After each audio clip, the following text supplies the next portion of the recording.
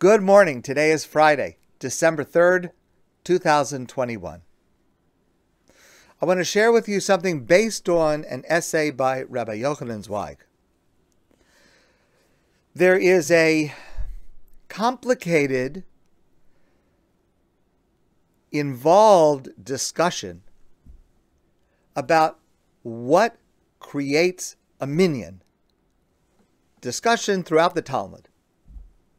The Torah tells us, and we've quoted this verse before in a slightly different context, V'nikdashti besoch b'nei Yisrael. God says, I will be sanctified when I am praised in the midst of the Jewish people.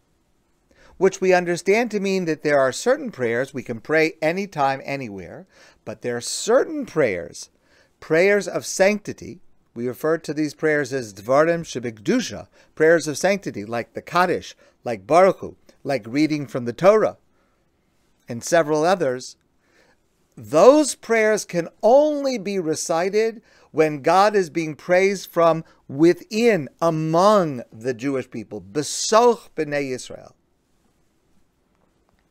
And once there is this Besoch B'nai Yisrael, this gathering of Jews that God considers the, the creation of a holy entity, then everyone else who joins in, men, women, and children, become part of this holier convocation entitled to offer to God these special prayers that can only be offered with a minyan.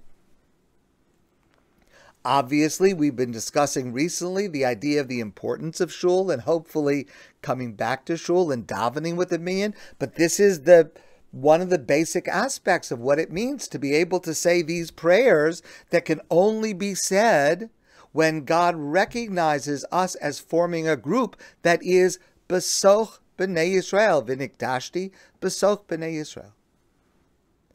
The question is, what is that number? How many is required to constitute a minyan, Number one. And number two, what does this tell us about the nature of public prayer that is different than private prayer? Because again, remember, prayer can be done anywhere, anytime, by anyone. So we have to figure out what the difference is going to be when it is done as a public prayer deserving of this line, V'nikdashti b'soch b'nei Yisrael.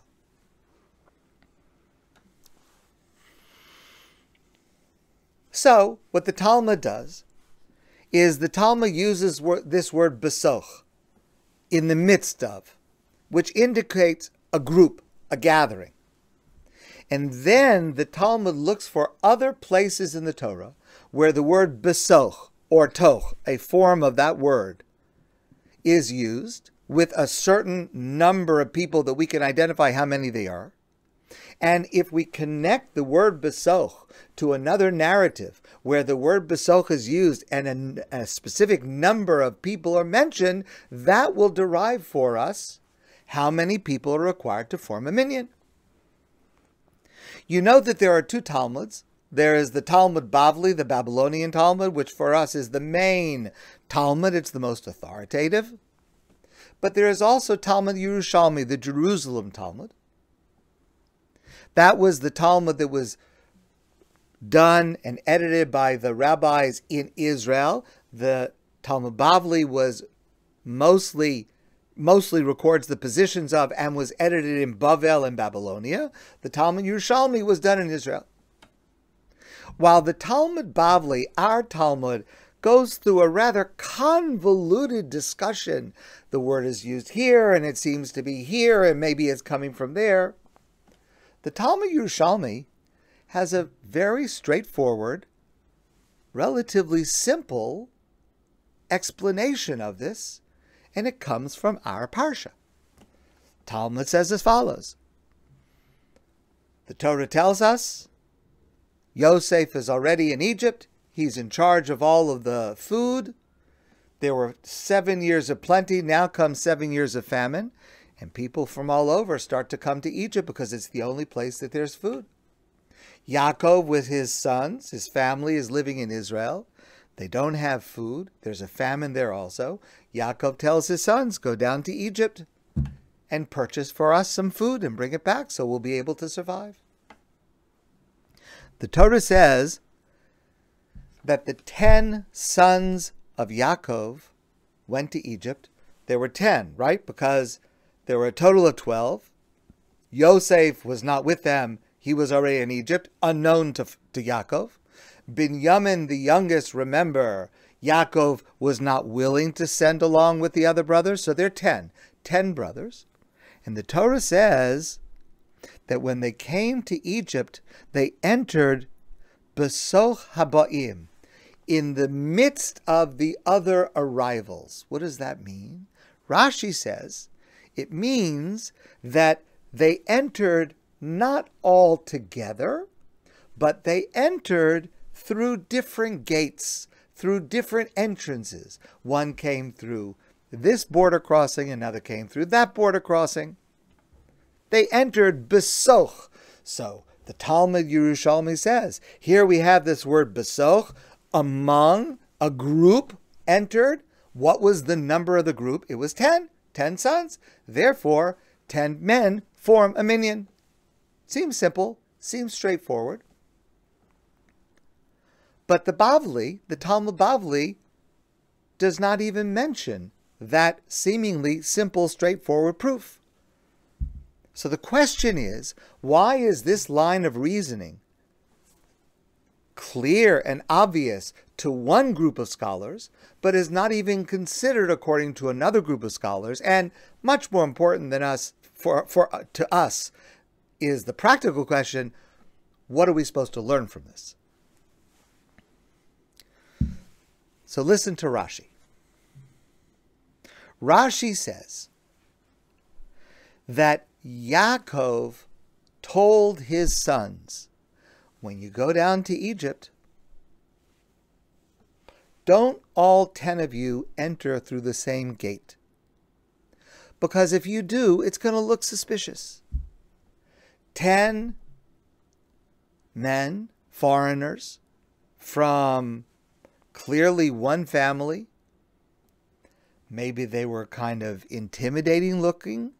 Remember just what two brothers, Shimon and Levi, had done to the people of Shechem? They were somewhat fierce. Maybe it would be intimidating. Maybe it would arouse some kind of suspicion. Don't go in the same gate. Each one go in through a different border crossing. Each one enter separately. In fact, Yaakov's fear was founded because later, when they are meeting with this person who they know to be the second in command, but they don't realize is actually their brother Yosef, he says to them, Maybe you're here to, as spies. Maybe you're here not because you want to buy food, but because you're trying to find out our weaknesses and you're going to attack us. Yo- Yosef actually accuses them of being spies, which is what Yaakov was afraid of. So Yaakov told them, come in through different gates, come in through different border crossings. Then there's a second opinion. The second opinion is that the Yaakov didn't tell them this.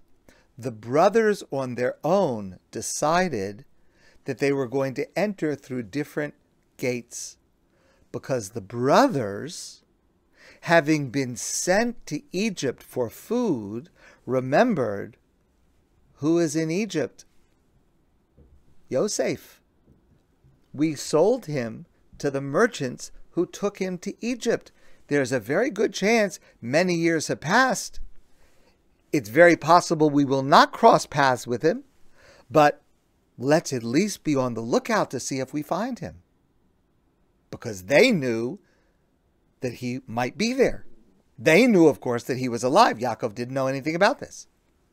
So the brothers decided we're going to all enter through different gates and travel different routes through the city to increase our chances of being able to find Yosef. We want to find Yosef. We want to apologize to him. We feel bad about what we did all those years ago.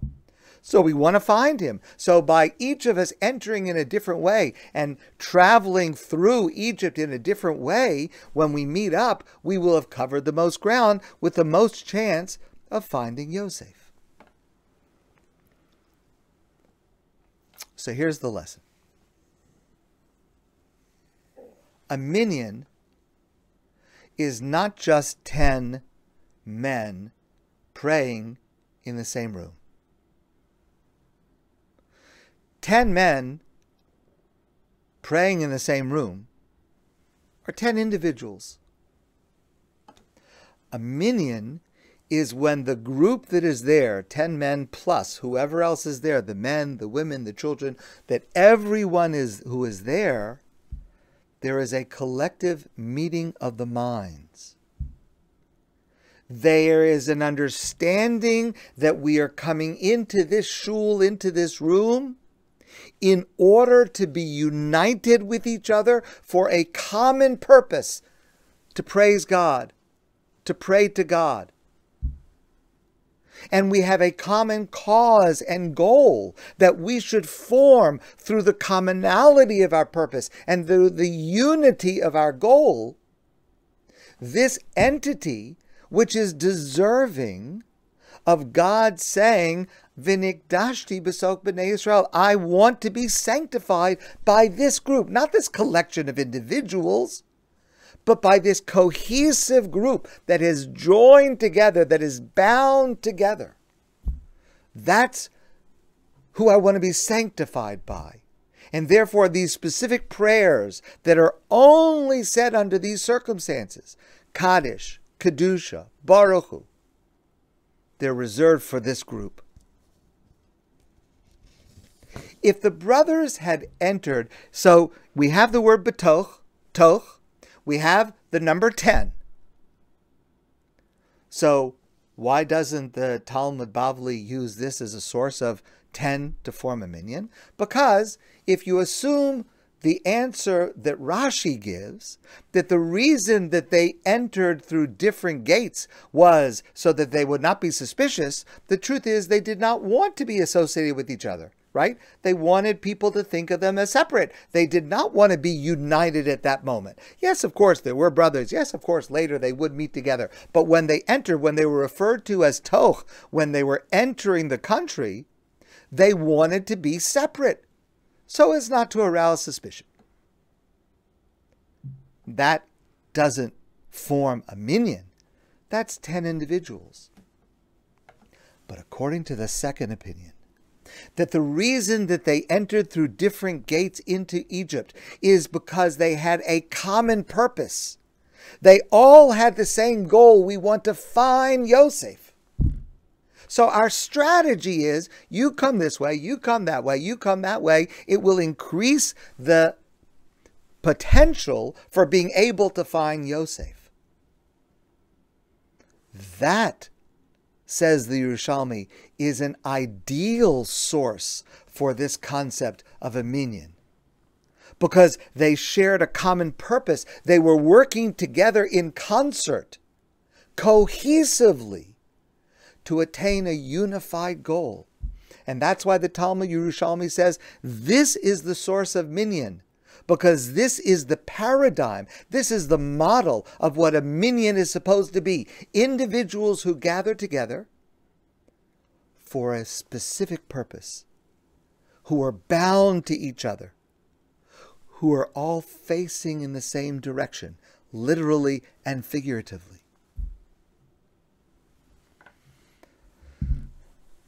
And that's why, according to the Yerushalmi, it's these ten brothers united in the common goal of finding Yosef, that defines for us the minimum number of people required to form a minyan, such that all those who gather to that group with their common purpose, facing in the same direction, literally and figuratively, are deserving of being able to praise God with a higher level of sanctity.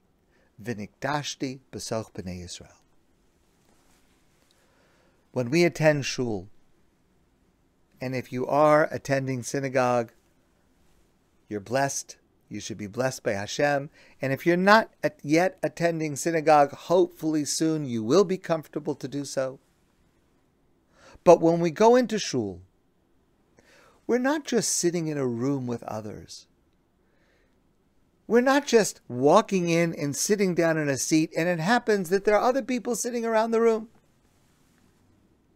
That's not what's happening. And if that's what we think is happening, if that's how we view it, we're missing the main part of why we're there.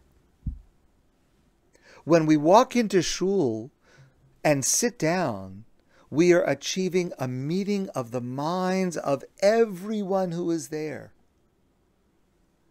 We are connecting with each other. Coming into shul and sitting down and beginning to pray is an act of prayer, but before the act of prayer, it's an act of, it's a social act, an act of connecting. I'm connected to you. You are connected to me. We have a common purpose, a common goal. And it's when we join like that,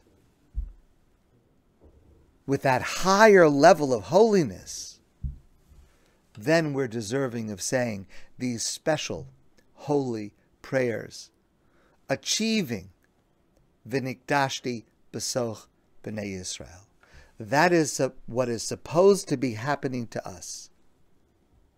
And that is what is available to happen to us when we join together in public prayer. My friends, I want to wish you a great day and a wonderful Shabbos. And I look forward to seeing all of you soon in person.